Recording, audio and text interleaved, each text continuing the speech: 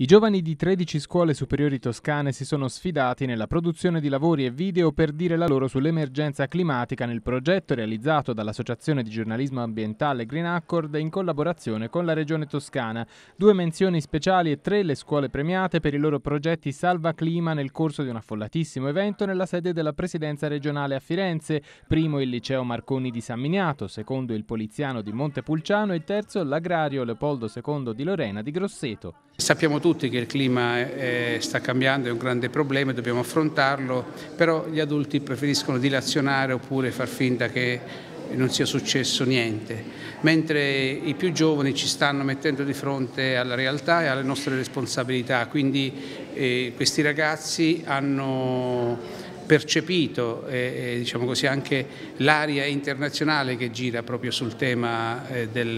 del cambiamento climatico tema sollecitato dal movimento Fridays for Future, nato attorno alla giovane attivista svedese Greta Thunberg e sul quale sempre più giovani hanno voglia di farsi sentire, come ha dimostrato l'entusiasmo degli studenti toscani coinvolti negli incontri svolti a ottobre e novembre con esperti e climatologi in preparazione al concorso.